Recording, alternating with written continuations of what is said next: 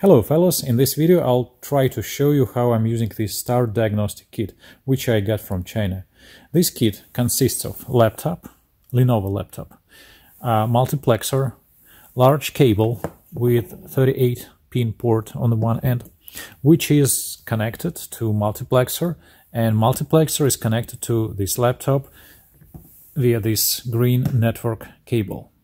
So let me connect everything together and I'll show you how I'm doing some diagnostics on this car. This is my Mercedes W140. So let's turn everything on. So I just connected this multiplexer with my Mercedes. Here, this cable is being connected to the 38 pin port on this Mercedes. And the laptop is turned off. Okay, let's turn it on.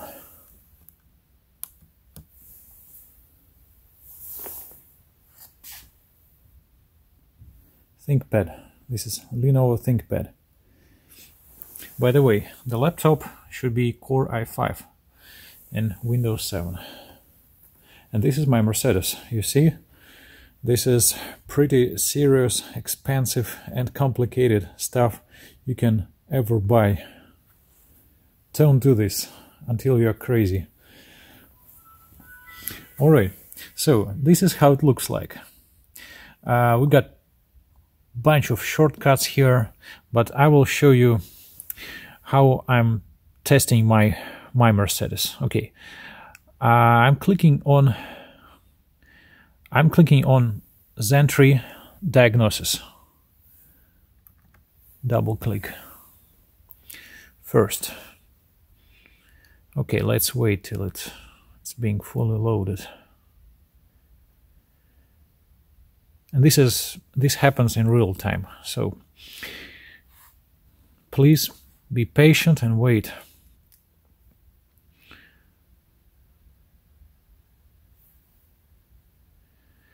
All right something is going on here. Then I select Mercedes click.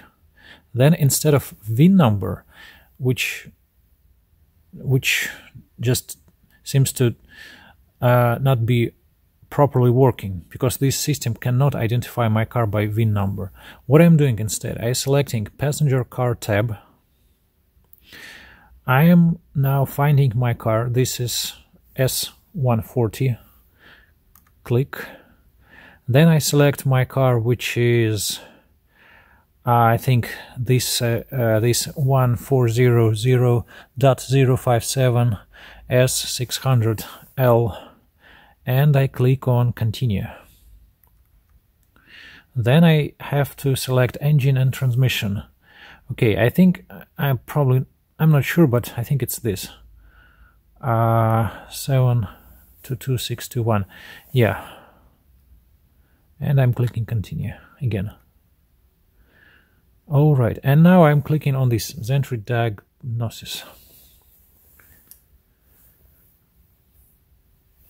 Okay, it says something. I'm clicking F2. Date is being determined, please wait. Okay, something in German. F2. Again. Are you working on another vehicle? If you choose yes, all information will be erased. Okay, uh, okay, let's choose yes.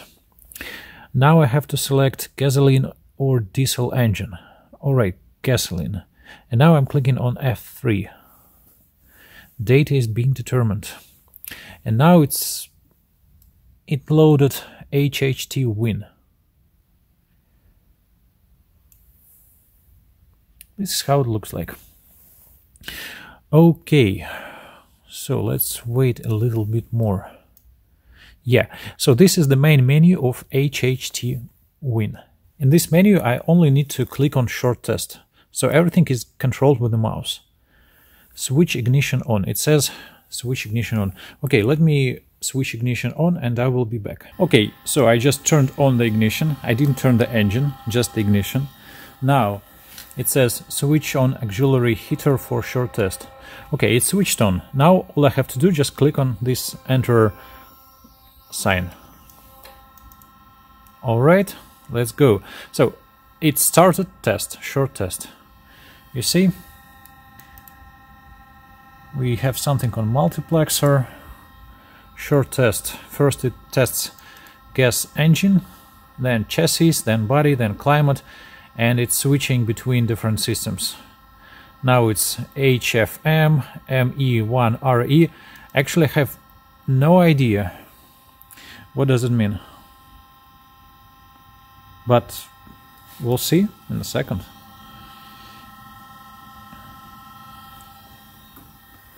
VAS ADS I know I have issue with ADS on my car. By the way it's already second system is being tested.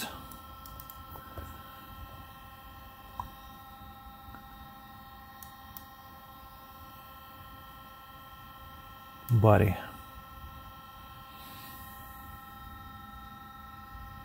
it seems that the phone can't just properly focus on the screen.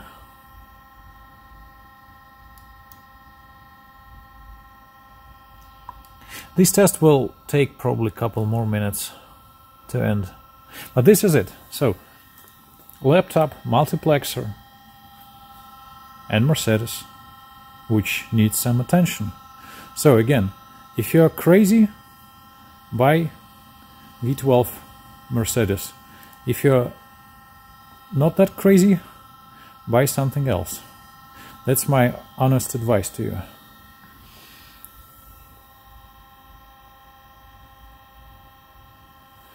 Still testing body.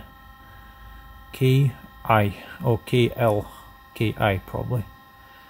LWR. If I only knew what it means, PTS.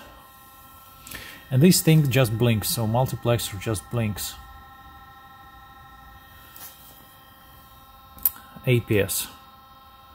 Still body. Tele aid. So this is how it works. Climate. It will engage uh, some fans probably very soon. Let's see. Oh yeah.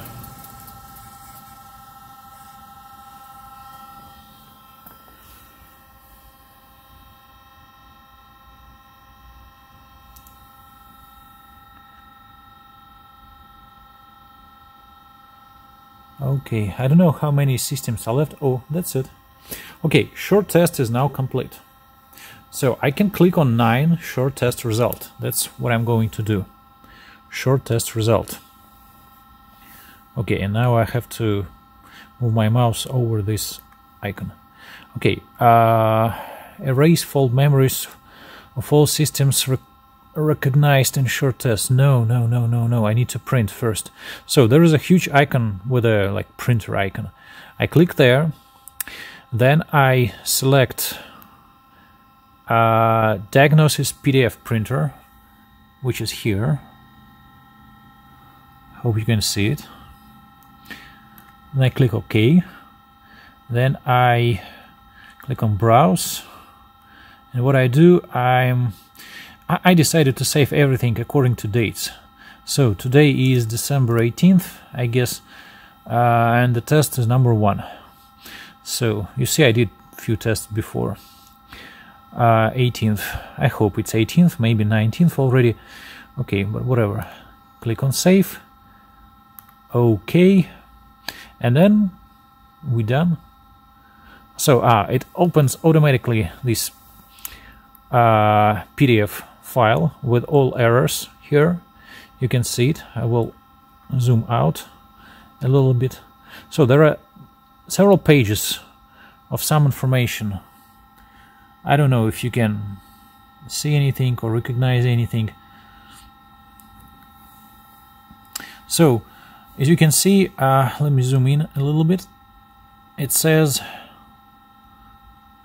steering angle sensor N49 system switched off. Steering angle sensor not initialized. No steering angle initializing. So I now I have to figure out what to do with these things.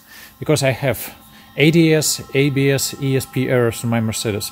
But just to summarize this, I have laptop, I have a multiplexer, cables, and this is what I do. I'm just testing my Mercedes. Uh, in this video I didn't show you how to use different um, modules in this software like EPC and other stuff. I have really no clue how to use them, but just to show you what's going on on desktop. Uh, oops. No. Here. This is what they left me.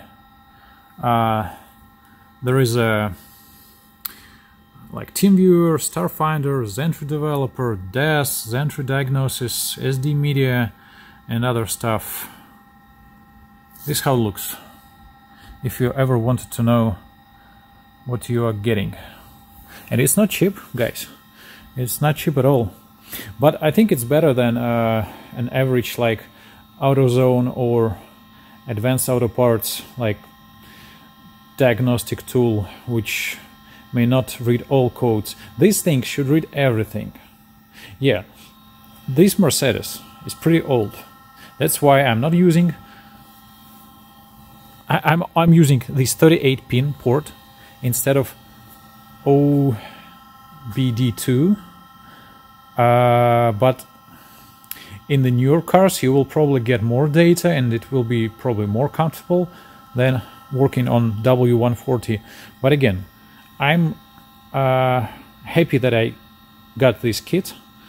And uh, because before I was using how how it was called?